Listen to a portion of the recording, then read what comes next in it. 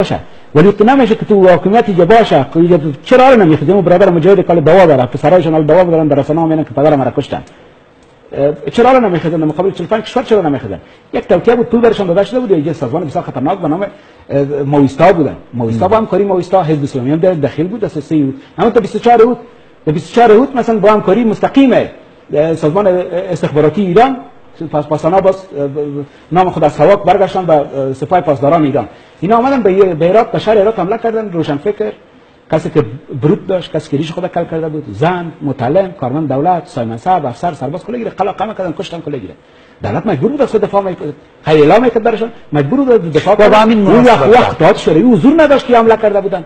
اینا همیشه اخوانی ها می برچسبشان است کمونیست کافر ملحد مرتد. دیگه چیز یاد ندارن که خوب شد که کل مسائل بر مردم افغانستان مشرع شد. کل می‌فهمن که کمونیست کافر ملحد گپا برچسبای بود که سرباز داده بودن. و ما مستقیما که یار اشعار کثیف می‌گفتیم از دموکرات افغانستان یار اشعار کثیف اشعار به فرهنگ و تنفروش می‌گفتن معلوم شد که اشعار به فرهنگ وقت کی بود و تنفروش کی بود کی واقعا به خاطر منافع ملی خود استاد مردانه استاد کار کردن. دوست کی بود اعظم کی بود؟ بزنن به سرعت بودن کدام عضو دموکراتیک افغانستان کدام بلند منزل دارم یعنی وطن فروشی ببینه.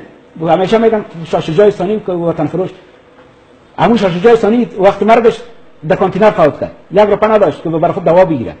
می‌دونید بسیار فرق است. و ذهنیت ها بسیار زیاد مخشوش شده در وطن ما. مجبور مکلف هستیم که حقایق قانونی رو بر مردم خود افشا بسازیم که نه برابری گپ نبودن. اینا به خاطر کسب انحصار قدرت به خاطر چور به خاطر چپاول به خاطر از اینکه زمینای مردم غصب کنن به خاطر که بلند منزل بسازن به خاطر که دست بلند کروزر بتشن باشه. اینا قسم جهاد جهاد اصلا موجود نبود دیگه. اگر جهاد موجود بود اینا چرا در وقت از صدام داوود خان کده به زن از یکی مسلمان بود؟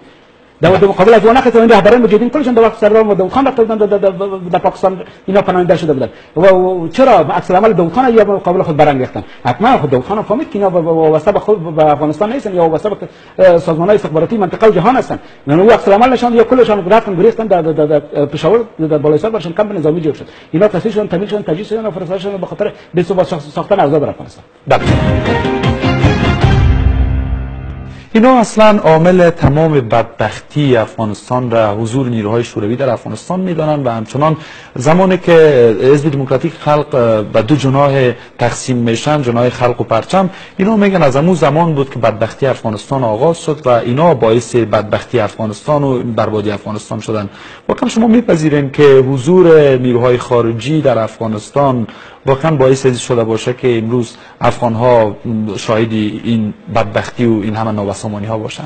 ببینید مخالفت باید به دموکراتیک افغانستان قبل از انقلاب ثوره تا قبل از دهه دموکراسی وجود داشت. وقتی که به دموکراتیک خلق افغانستان سال 1343 اساس گذاشته میشه یک جریان دیگه به نام جوانان مسلمان بود خانی ها بله. اینا مخالفت از نموج آغاز شده بود. اینا دشمن یکی دیگه بودن.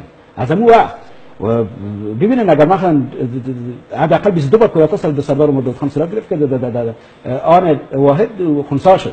اگر مثلا کودتا ها پیروز میشه شما چی فکر میکنین آیا اعضای دموکراتیک خلق افغانستان رو تمام روشن فکر افغانستان دیگه ایجا زمینه نفس کشیدن برشان مساعد می بود به هیچ وجه نه. وقتی اگر وام یا قدرت میگرفت همین عمل په وام میکردن. حزب دموکراتیک خلق افغانستان به زور خود به قدرت کسب کرد. غصب کرد قدرت بیتو بگذاره بگیم غصب کرد قدرت.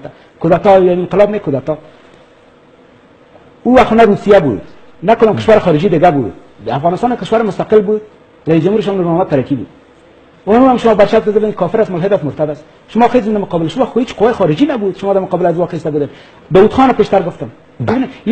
می‌کنن کلا اعمال خود توجیه می‌کنن ولی واقعیت تر است ناس نو باید بفهمه این جهاد را که سبقت الله مجدی اعلان کرده بود در سال در دوران ظاهر شاه بود در سال 37 علی حاکمیت محمد ظاهر شاه چون منافعش در قطر بود جهاد اعلان کرد بگذار سبقت الله مجدی میگه پارا بشنوه در سال 37 خب خب کلپش از خودش گفته که در سال 37 اعلان جهاد کنه ملای سلطنت بعد از اینکه سردار ودود خان در سال 1952 کودتا می‌کنه و قدرت دست می‌گیره اینا ترسیدن چون میفهمیدن که سردار مدعو خان بسیار تمایل داره برای فکر افغانستان با وجه حزب دموکراتیک خلق افغانستان و کودتای سردار مدعو خان با زور بازوای اعضای شاخه پرچم حزب دموکراتیک خلق افغانستان صورت گرفتن این شک نیست هیچ کس از شمپوشی کده نمی‌کنه.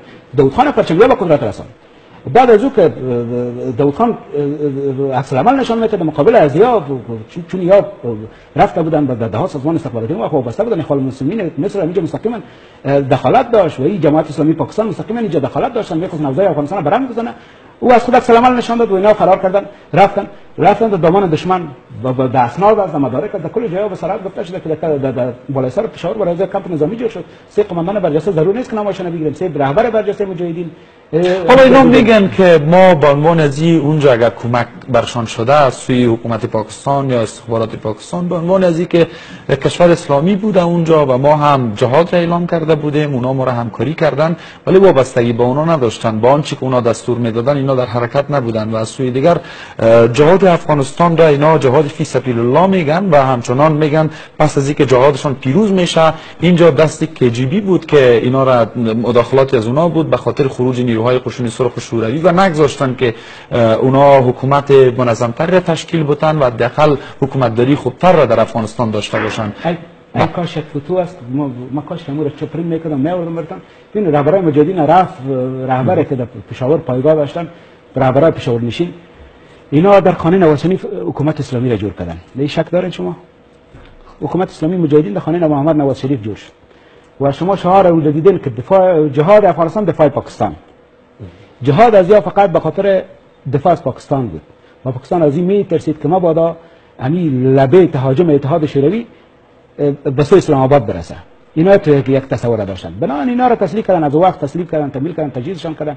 و بسرات چه خوب حالا خام از رسانه ها است کلیپ های ویدیویی است که گفتن اینجا بسرات یا رهبرا بسیار بشرمانه بسیار سر افغانده اونجا نشستن و در پشت سرشان کلام نشسته است که جهاد افغانستان دفاع پاکستان. ببینید این خودش یک سند است. هیچ حاجت به توضیح نداره دیگه. اینا در هر کمپ نظامیشان مشاورین پاکستانی افراد آیسا اونجا حضور داشت.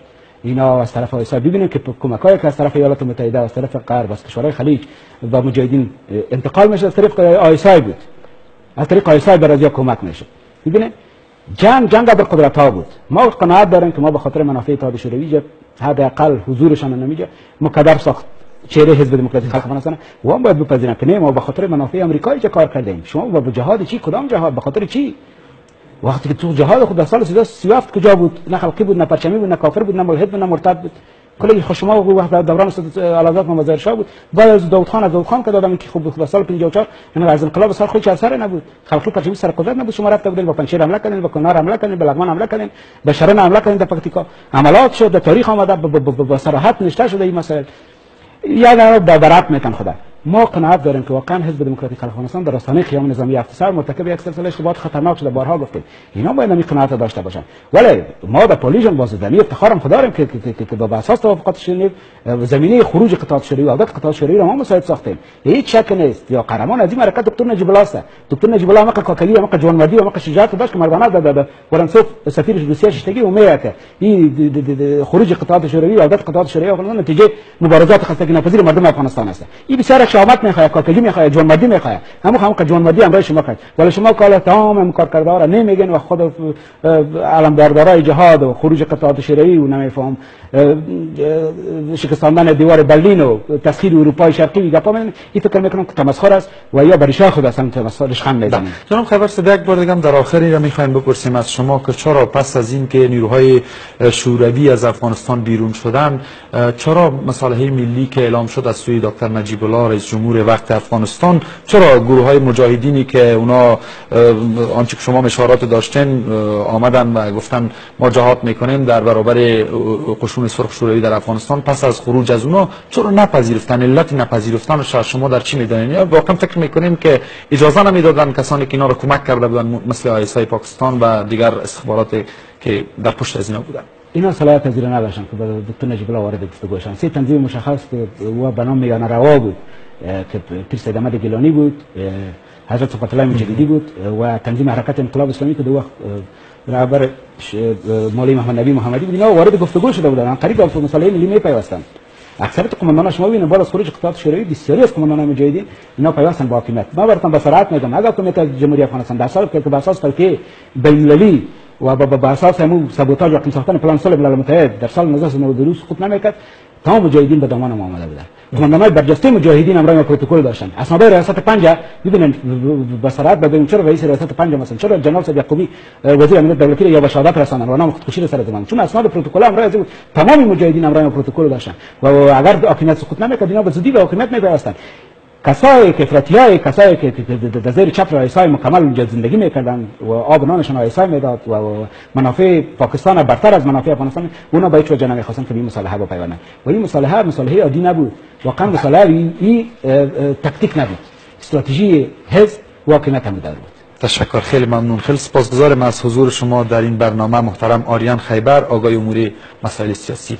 یک بار دیگه از حضورتان در بس خیلی تشکر. بیننده های عزیز تلویزیون یک مهمان دیگه هم دعوت داشتیم. محترم جلال الدین هوشام آقای مسائل سیاسی را که اونا نمی‌دانم با کدام مشکلی که روبرو شدن نتونستن